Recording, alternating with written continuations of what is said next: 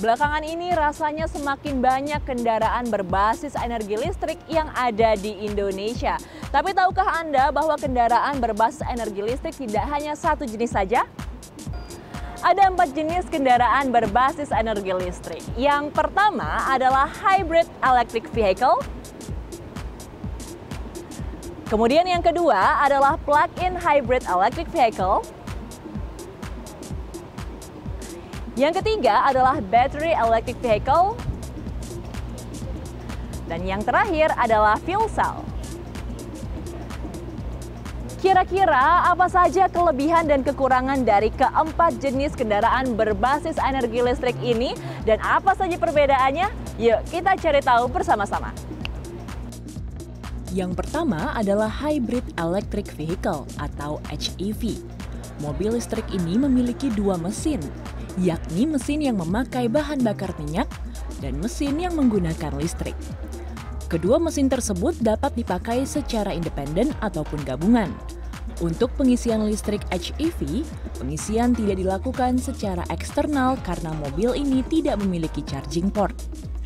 Energi listriknya berasal dari energi kinetis yang dihasilkan saat mesin BBM menyala, berakselerasi, dan pengereman. Pada HEV, kapasitas baterai listrik relatif rendah, sehingga tak bisa menjangkau jarak jauh. Yang kedua adalah plug-in hybrid electric vehicle. Prinsipnya, jenis ini sama dengan jenis hybrid electric vehicle.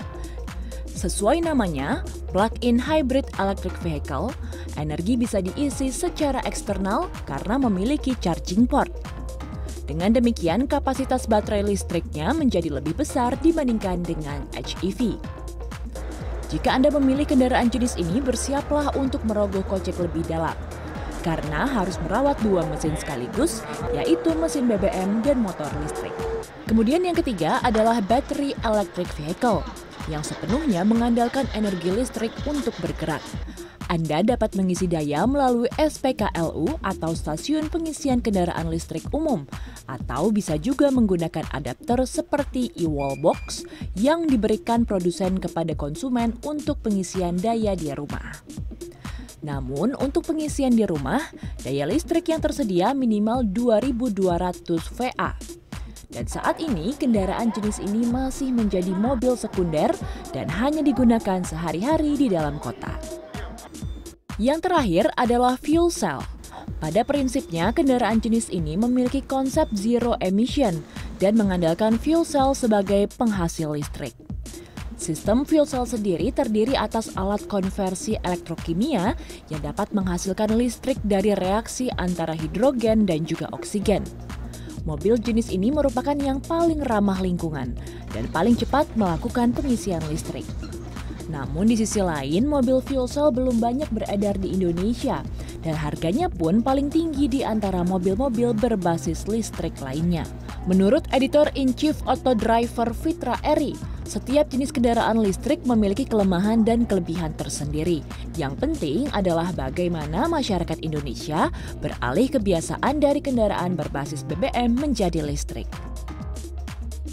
Makanya ketika kita menggunakan mobil listrik, sebenarnya kebiasaan kita yang harus berubah. Kalau kita pakai mobil bensin atau mobil diesel, kita tunggu dulu sampai habis, kemudian kita ke SPBU, kita isi.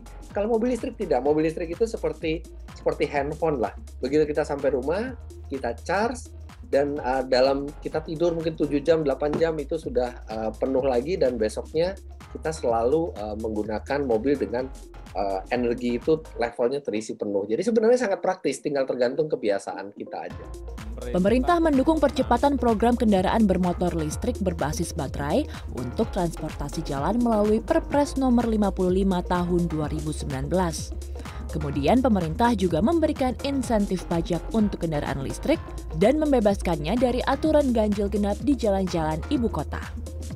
Tim Liputan CNN Indonesia, Jakarta.